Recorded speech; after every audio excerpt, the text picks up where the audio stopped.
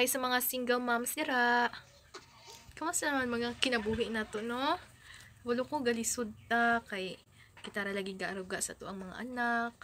Pero hinaot lang nga di ta magpadala sa mga problema nga ing anak kay kana pagsali eh pa- I mean pagsalig pag challenge na sa Ginoo sa tuwa.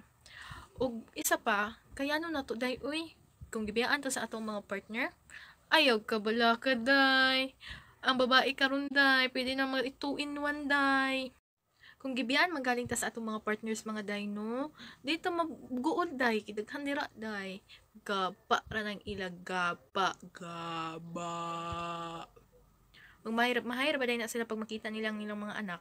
Di ba? Sakto ko. Kalagot ng nga ba?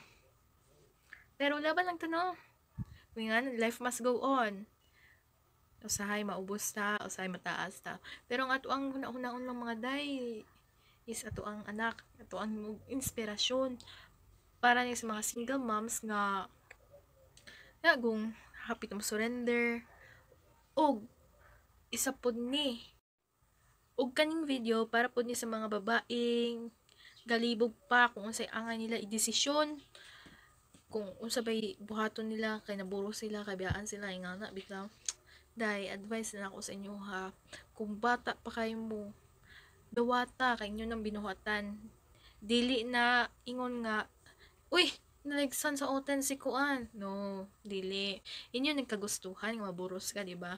Ang inyuhan na lang is dawata kung biyaan ka dawata lang yapon ang bata. Dili kay ipakuha ninyo ibutang ninyo sa iniduro or dili ilaban ninyo sa kanal.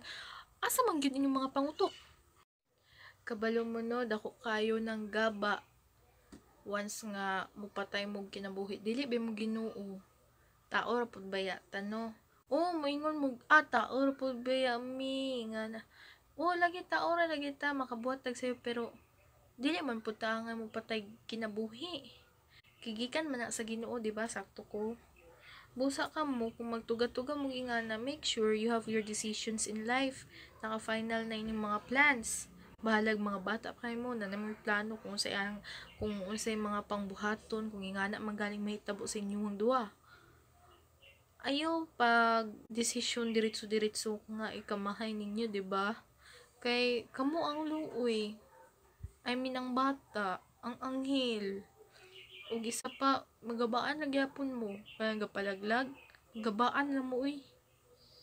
Di binaangay buhaton anghel baya na? Maluyon ug kung mag-comment man galing mo sa ako nga ah porket imong gikuan imong anak gibuhi nimo ano magpalaglag magngana na ka.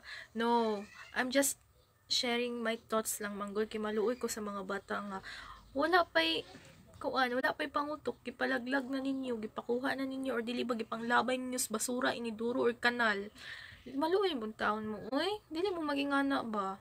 Okay anghel na naghatag mo kinabuhi. I mean gabuhat mo bata nga wala mo desisyon bitaw. Luoy kaayo siya. Kaya naman natin mag-sex mo, ingana, ingana.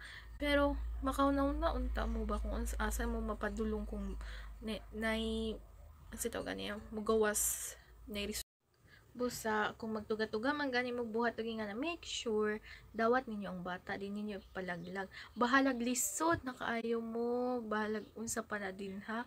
Ayaw gyud ninyo ipalaglag ang bata please lang. Ako'y nang hangyo buhi a kay inyong binuhatan. Kabalo mo man sa feeling mahimong parents. Grabe bay? Wow wonderful kaayo kay kada buntag gusto ka makita niyo imong anak nga gangisi tapos basta maka-inspire kay siya kanang mga problema nga gakaabot wala ara na. Isa ra ka smile sa akong anak sa inyong anak. Wow wala tananday dong mawala gyud. Huna-huna araw gyud ninyo out of 100 billion or sa pa nga million zillion na trillion unsa pa na din ha? Katong gusto magpa- magkaanak dili magkaanak pero kamo gyatagan ay ninyo sayangi ha maluoy mo sa anghel. Anghel na siya. Blessing. Mo tong gipangalan ako akong anak ko. Blessing kay blessing siya sa akong kinabuhi. Gatay siya sa Ginoo. So maoro to akong advice inyo mga girls. O para sa mga boys po to.